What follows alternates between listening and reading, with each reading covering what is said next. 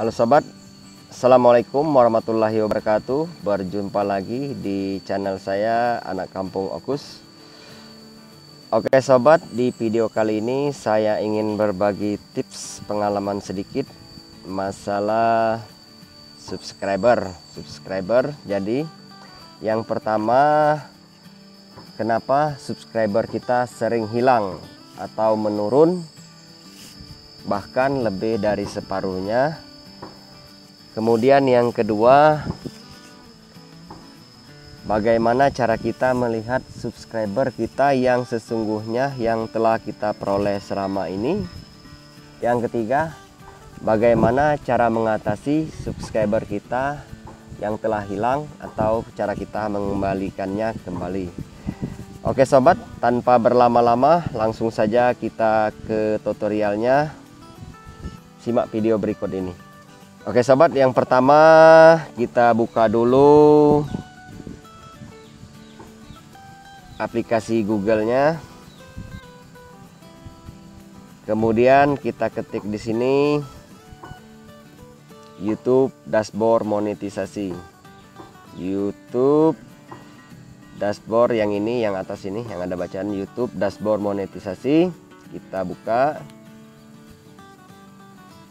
kemudian kita sign in YouTube Studio. Oke kita tunggu.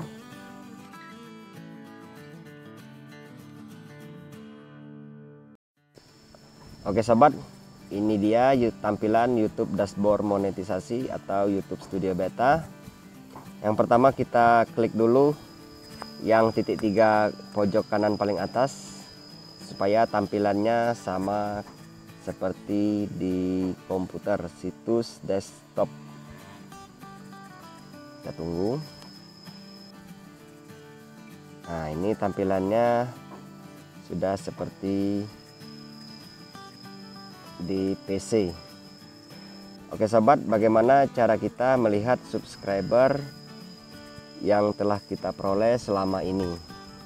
Jadi kita klik yang bagian analitik ini kita besarkan dulu. Oke. Yang ini. Yang nomor 4 kita klik yang analitik ini. Oke kita tunggu. Nah kemudian kita klik yang mode lanjutan. Oke mode lanjutan yang ini klik mode lanjutan.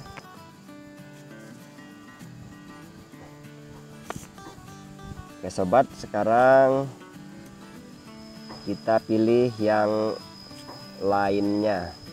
Ini yang lainnya. Kemudian kita klik sumber subscription yang nomor 3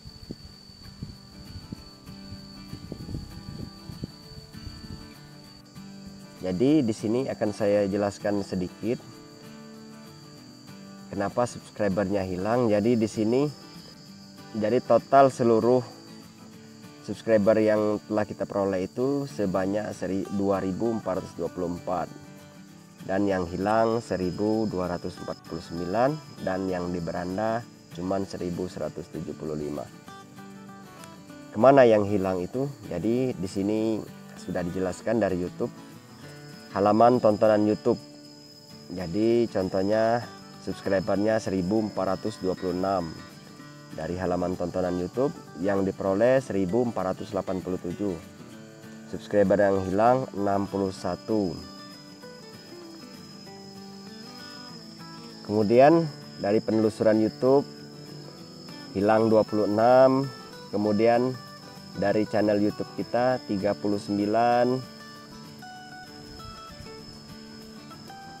fitur interaktif feed shot feed subscription dari beranda YouTube dari daftar subscription channel akun ditutup. Jadi total yang hilang 1249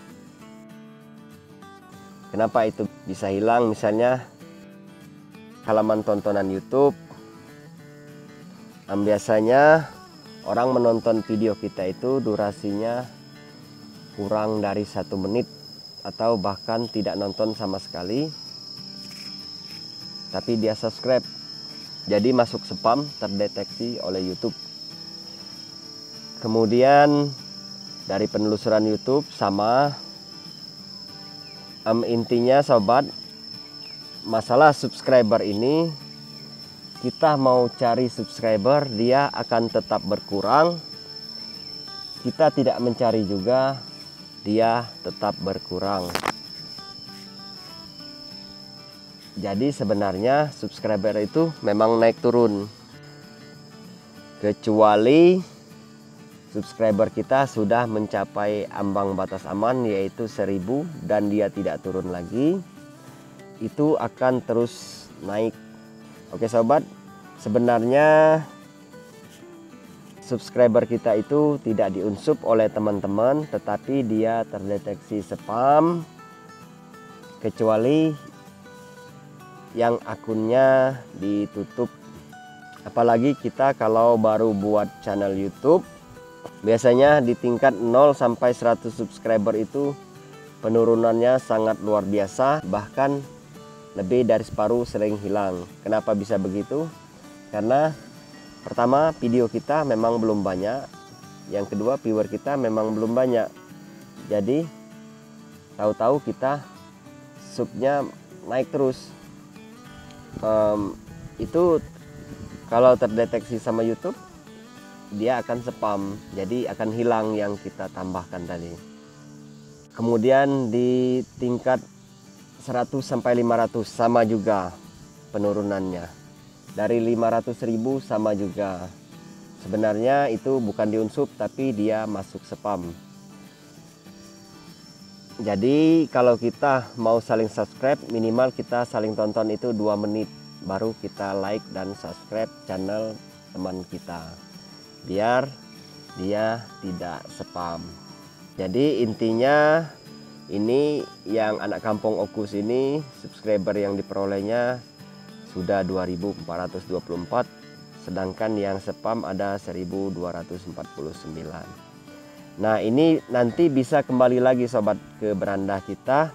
Bagaimana caranya? Yaitu kita setiap hari usahakan upload video jadi kalau kita sering upload video setiap hari, insya Allah subscriber kita akan kembali lagi. Dia bukan sekaligus, tetapi secara bertahap.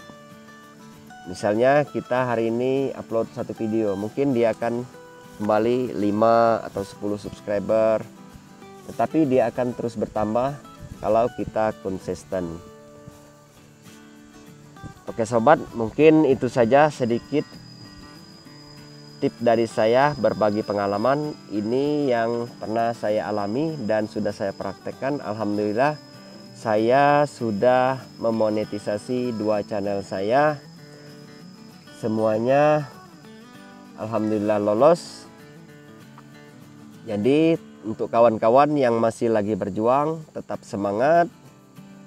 Jangan berprasangka buruk berkaryalah dengan karya anda yang sesungguhnya dan satu pesan saya, jangan saling merendahkan antara sesama YouTuber dan jangan saling mengomentari yang tidak baik. Karena apa pun karya mereka kita harus hargai dan begitu pula karya kita pasti akan dihargai orang lain. Oke sobat, sekian dulu video dari saya. Semoga bermanfaat. Jangan lupa dukung channel ini semoga cepat berkembang dengan cara tekan tombol like, subscribe dan nyalakan loncengnya juga. Terima kasih sudah menonton. Wassalamualaikum warahmatullahi wabarakatuh.